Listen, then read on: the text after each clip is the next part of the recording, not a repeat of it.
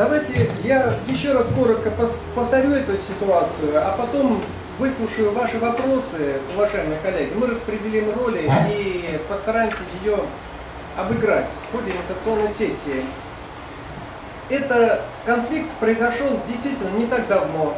На практике нашего центра к нам обратилась э, Ольга.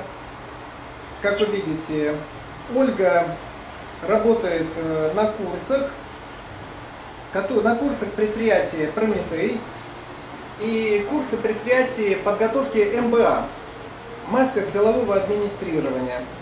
Дела пошли хорошо, и Ольга подключила младшую сестру Катерину. Катерина открыла дополнительное направление, помогла принять на работу менеджеров, и предприятие Прометей стало подготавливать не только специалистов по МБА, но также и специалистов по проведению электронных торгов, государственной закупки. Это оказалось э, очень системным направлением, востребованным. Выручка увеличилась, но тут возникла неожиданное. Ольга получила сильный перелом ноги, и в результате три месяца оказалась э, неспособна ходить на работу, в принципе. В этой сложной ситуации, кроме того, отношения между сестрами несколько накалились, позже мы поймем почему. В этой ситуации неопределенной Катерина взяла на себя управление, и сестры совместно приняли решение освободить и э, уволить всех менеджеров в связи с падением выручки. В основном осталось направление, связанное с электронными торгами. Курсы делового администрирования шли постольку поскольку.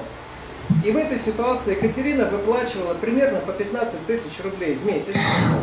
Для России это два прожиточных минимума, Ширин поясняет, да? Это, с одной стороны, не так уж и мало, но и не так уж и много. Это немножко, что называется, для взрослого человека. И в течение трех месяцев, пока ее сестра Оля находилась в гипсе, она выплачивала вот это пособие. Но она называла его не пособием, а частью прибыли, поскольку доли 50 на 50. По прошествию больничного Катерина достаточно прямо заявила своей сестре, что не будет заниматься дальше благотворительностью. Если нет выручки, то и нет дивидендов, соответственно. Отношения между сестрами стали накаляться, и они обоюдно приняли решение о расставании. Когда конфликт э, был взят в наши руки, я заметил, что сестры совсем не могут общаться друг с другом. Не переносят друг друга. И еще маленькая деталь. Эти сестры в детстве очень хорошими были друзьями, подругами. У них э, остались родители, за которыми нужно ухаживать, и они регулярно встречаются у родителей. И так или иначе, даже если бизнес э, прекратится совместный, все равно, все равно забота о родителях будет объединять э, ту и другую сестру. Все понятно в этой ситуации? Примерно, да?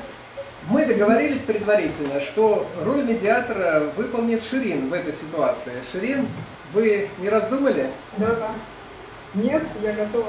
Замечательно. Давайте выбирать роль сестер. Кто желает? Инна Владимировна, можно вас попросить? Можно, да, конечно. Да? Ну и вот Светлана, например.